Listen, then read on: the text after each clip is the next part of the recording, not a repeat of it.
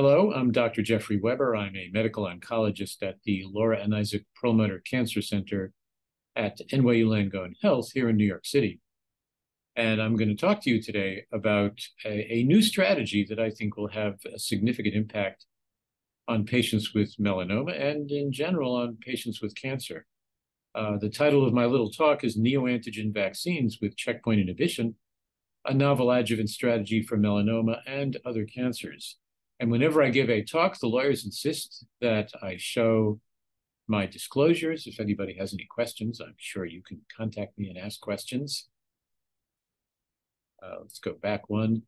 Um, one of the biggest problems in the cancer treatment field is the sort of the uh, holy grail of cancer therapy and prevention has been the generation of a cancer vaccine. Everybody wants to be able to go to the freezer in your pharmacy and pull out a vaccine that you could administer to patients who perhaps had early stage cancer but at a risk for having it return, or even had late stage cancer, maybe had it resected surgically, removed, and again are at risk for having it come back. The problem is in 50 years of trying, no one's come up with an effective cancer vaccine.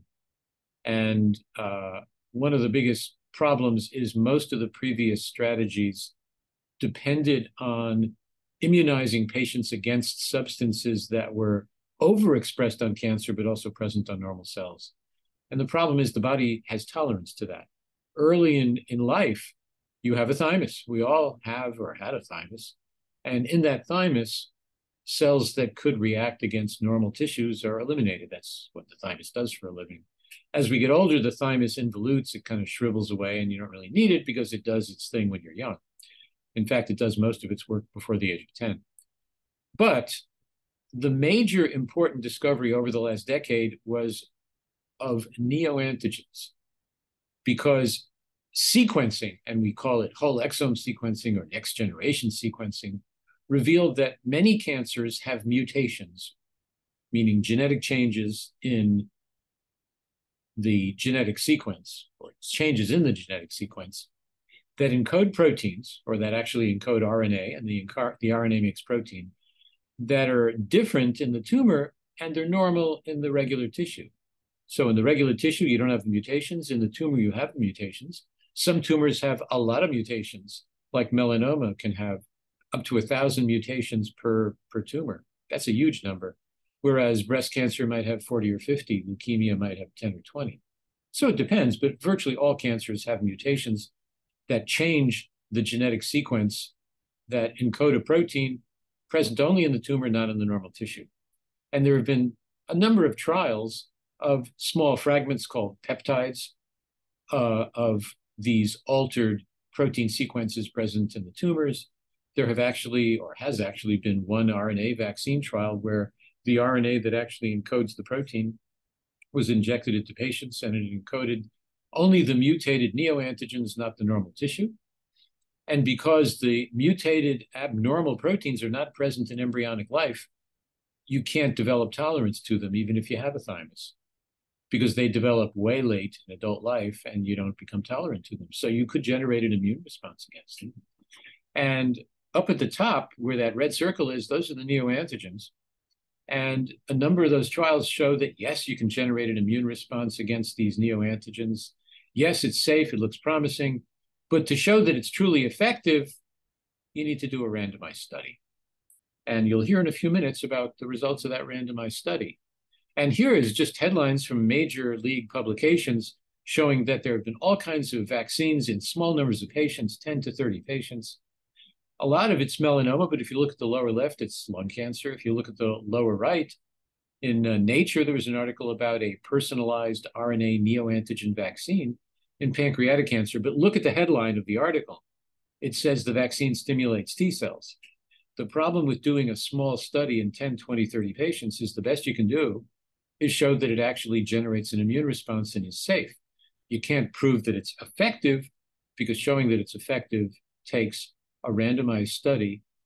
And you can do it two ways. You can do a randomized phase two study in one to 200 patients to get preliminary evidence that your vaccine with a drug that's already approved for melanoma, for example, versus just the already approved drug looks better that is, the combination beats the control arm. Or you can do a thousand patient or a 2,000 patient randomized study that costs, you know, 80 million, 100 million dollars to definitively show it. I'm a conservative person. I believe in doing the first step first. You do the small randomized phase two study, and that's what you're going to hear about. Here's a very complicated picture. Just look at the left-hand side. This came out of Nature, published a couple of months ago, a trial from MD or from uh, MSK rather.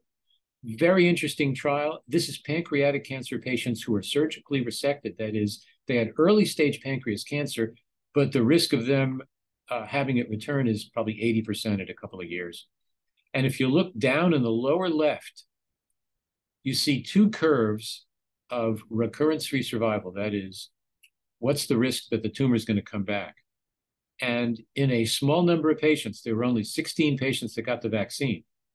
The red line shows that nobody relapsed in the group that had an immune response, but the blue line shows that almost everybody relapsed in the group that didn't have an immune response to the neoantigen vaccine, which suggests that maybe we should be vaccinating patients after surgical removal and try to prevent the tumor from coming back.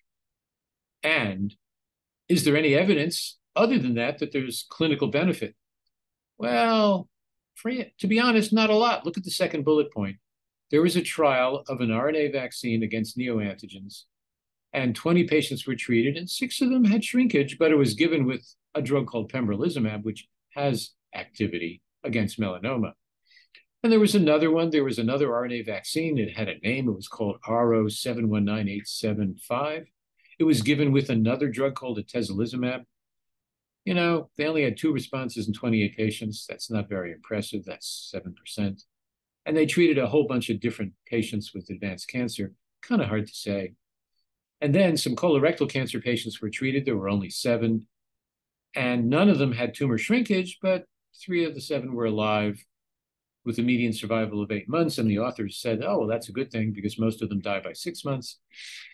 As you can tell, doing small studies in patients with advanced cancer with a vaccine approach ain't going to get you much because it's very difficult to tell if it really works. So, what I advocated and what some other folks have advocated is the way to use a vaccine against cancer is in the patients whose tumors arise and then get surgically removed. They're at risk of relapse or return of the tumor. But at the time you vaccinate them, A, there's no tumor. B, it gives you time to make the vaccine. C, it gives you time to repetitively vaccinate the patient and get a good immune response. Now, the complication is that in these patients, we call these high risk resected patients in melanoma, there is effective adjuvant therapy. And this shows where it says Keynote 054 it shows the recurrence-free survival of patients in blue who got the drug pembrolizumab, which is an immune stimulant, versus placebo, no treatment in red. And it says you obviously do better in the blue curve than the red curve.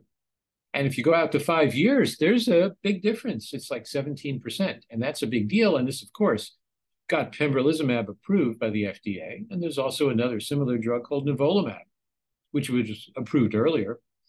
So these are drugs that are effective. So if you're going to do a vaccine in patients with melanoma that's surgically removed and determine how quickly they have return of the tumor or relapse or recur, the control arm has to be that drug.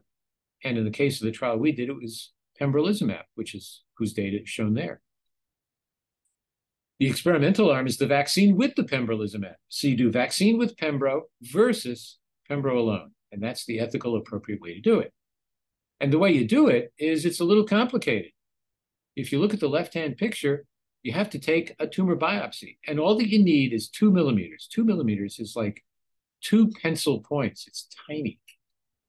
And you take that tumor and you remove the nucleic acids by dissolving it in a sterile solution and you get the RNA and you can sequence the RNA and the DNA, the genetic components, and that takes a week or so, and that uses 21st century technology. Oops. And you then can determine where are the mutations that are in the tumor that are not in the normal tissue because you also sequence the blood, which is normal. And then you can take 10, 20, 30. It turns out you can actually have 34 of these little sequences of protein they're like 25 amino acids. They're what we call peptides, fragments of proteins. You take the sequence in the RNA, you run it together. That's called concatenating it. That just means you put them together. And you make one RNA molecule. You manufacture it. It's not hard to do. It uses 20th century technology. Ah. And that's your vaccine. And you administer it in a way that stabilizes the RNA because RNA can be easily chopped up in the body. So you encapsulate it with these nanoparticles that protects it from being degraded. And you vaccinate the patients with sequences of the neoantigens that their immune system will recognize determined by what's called their HLA molecules. And we all have six HLA class one molecules. We're all different, but you have to tailor it to each individual's HLA molecule. And that's not hard because you get that information from the sequence. And at a cellular level, here's what happens. Look at the upper left. You have that little RNA molecule. It's encapsulated in this little capsule to protect it. It gets into the cell. The cell gobbles it up you inject it in the muscle and it gets into the muscle cells, it gets into other cells in the body, and it meets up with one of the little factories in the cell that takes the RNA and translates it into protein. And that's a normal function. We all have ribosomes in all our cells. And you end up with a protein chain that's a concatenated bunch of these little peptides. And it then makes its way to what I call the garbage disposal of the cell. That's called the proteasome. That's that light blue thing and right in the middle. And the proteasome digests and chops up proteins. And if they're useless proteins, it gets rid of them. If they're good proteins, they get into another structure that's at the lower right called the endoplasmic reticulum. And they meet up with what's called the MHC molecules. And if you look at the right hand side, it says vesicle.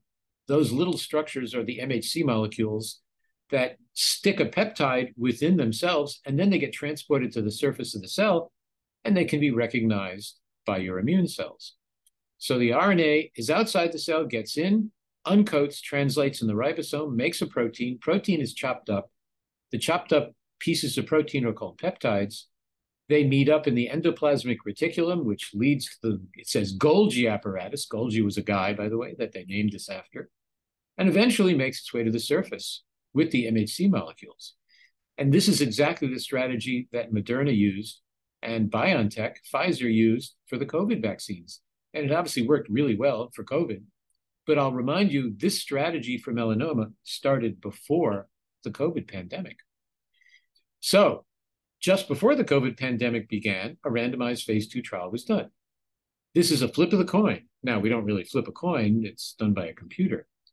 But patients had combination of the RNA vaccine with the standard drug pembrolizumab for up to one year or that was in red, or they had the control arm. That's the pembrolizumab alone. That's an FDA approved drug. You had to have that.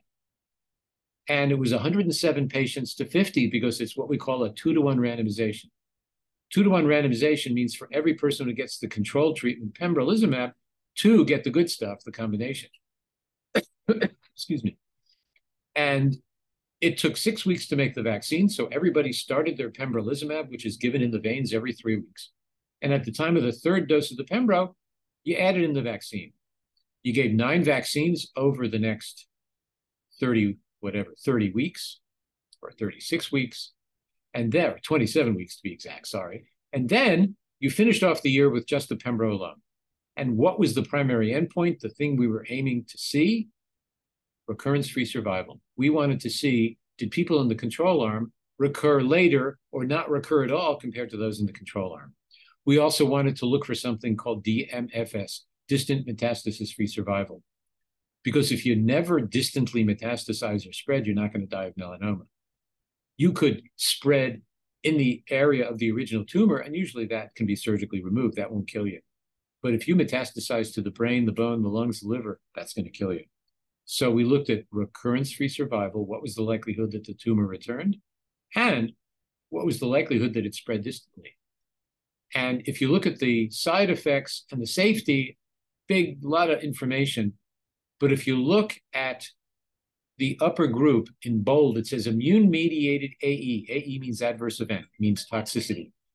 If you look at that, you will see that the percentage of patients with any grade, meaning we call them grade one, two, three, four, adverse event was 35% in the combination, 36% with just the pembrolizumab, and that's pretty darn good. That would suggest that there's no real increase in the immune mediated toxicity, but there was more toxicity to the vaccine, right? Because anytime you get a vaccine like COVID, your arm hurts, you get fevers, you get chills, you feel crappy for a day or two. And that definitely happened. But for 88% of the patients, it was minor. We called that low grade. And for some of them, it was high grade, and they felt pretty lousy for a day or two. But at our institution, everybody continued the vaccine and nobody stopped it because of vaccine related side effects. So that means A, it's well tolerated. B, the vaccine related side effects were not so bad. And here's the punchline this is the curve of recurrence. So on the bottom is time, so time goes to the right. On the vertical axis is the likelihood that you're going to recur. It's actually the inverse, it's the recurrence free survival. So the bit higher you are, the better off you are. The closer you are to 100%, the lower the likelihood that you're going to recur. And I much would rather be on that red curve of recurrence than the black curve. The red curve is the combination. The black curve is just the pembrolizumab, the standard. And by the way, the standard curve here in black looks exactly like the curves of protocols in which pembrolizumab was tested and approved. So it reproduces what you would expect with pembrolizumab. But there's an increment, an increase in recurrence-free survival with adding the vaccine, and that's a big deal. And the difference, what we call the hazard ratio, is 0.56. Hazard ratio is the difference between adding something and not adding it. So if it's less than one, that means it was better to add it, meaning the risk of recurrence, if the hazard ratio is 0.56, the risk of recurrence was decreased by 44%. In our business, that's a big deal. And if you look at the other endpoint, which is distant metastasis-free survival, it looks pretty good. Now, you also should look at the left side of the curve. The curves don't, don't break apart till late, which would imply the benefit of the vaccine takes time to occur. But once time has passed, by 18 months, there was a 13 percentage point difference in the distant metastasis-free survival, and it looks like it continued to stay apart. There's two years of follow-up, and those curves, again, this time the hazard ratio is 0.34. The lower the hazard ratio, the more the benefit of the treatment arm versus the control. A hazard ratio of 0.34 means a 66% reduction in the risk of distant metastasis occurring. And again, that's a pretty big deal. And in addition, another experiment was done where we subdivided the patients by whether you could detect circulating tumor specific DNA at the time of surgery. If you have surgery, the tumor is removed, and then you do a blood test a month later and you can still detect circulating tumor DNA, even if all the scans are negative, that's not good. Those patients do badly. And if you look at the patients who were negative, those are the dotted or dashed lines. Red is better than black if you're circulating DNA negative. So that means the patients who do well do even better if they get the vaccine. And if you look at the vaccine recur the distant metastasis-free survival, it's up at 100%. That means nobody develops a distant metastasis in the good group who have DNA negative in the blood. If you look at the DNA positive in the blood, even then, the red line is better than the black line. Look at the black line of the ctDNA positive who only get the pembrolizumab. They all recur. They all develop distant metastases. Whereas it's much more prolonged in the bad acting group, as we call them, in red when they get the vaccine with the pembrolizumab. So whatever group you take, the good group, the bad group, the in-between group, you're better off getting the combination of the vaccine with the standard pembrolizumab than the pembrolizumab alone. So what are the conclusions?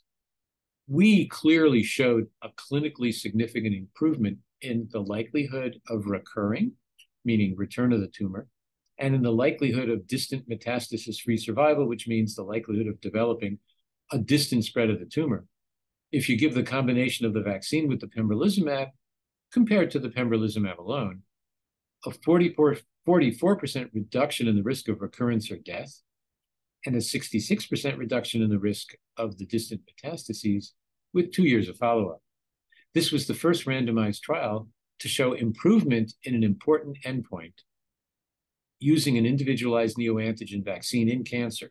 All other trials have been single-arm studies where you can't prove that it benefits the patient because you don't have a control arm. We thought it was pretty well tolerated. there was extra or additional side effects added by the vaccine, as you would expect, just like with COVID. But in general, the opinion was it was well tolerated.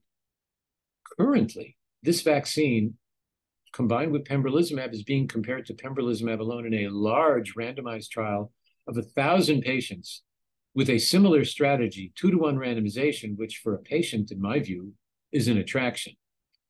And this was given what they call breakthrough designation by the FDA and prime designation by the European Medicines Agency earlier this year. And this trial has already started accruing. It's going to go for another year. And in a year beyond the end of that study, which is two years from today, I hope there'll be enough events, an event being a recurrence or a death, so that you can break the code and find out where there are fewer events in the combination than in the control, which is the sought after goal. If that is the case, and it's wide enough, a big enough difference, then an application will be made to the FDA. It'll be prepared, made to the FDA. The FDA then gets six months to respond. And about three years from today, if all goes well, that vaccine will be approved for melanoma and it'll go into patients. Now, there are a lot of next steps. For example, we need to get more data from the original randomized study I just described. We need to see how durable is the effect of the treatment. I already told you there's a phase three study that was initiated, but this type of neoantigen vaccine would have relevance for non-small cell lung cancer, for head and neck cancer, kidney cancer, hepatocellular cancer, esophageal, gastric, you name it. Any cancer where there's well-known documented neoantigens that occur, which is most cancers, would potentially be able to have benefit from a neoantigen vaccine approach. So there's going to be a whole franchise that gets set up in the future, I assume, by both Merck, which is pursuing this particular strategy with Moderna, and BioNTech, which I believe will pursue it with Genentech and or Pfizer. So I think there's going to be a lot of neoantigen action in the next five years. And my prediction is this is yet one more incremental step in the eradication of cancer as a major source of mortality in our lifetime. And again, I thank you for your time.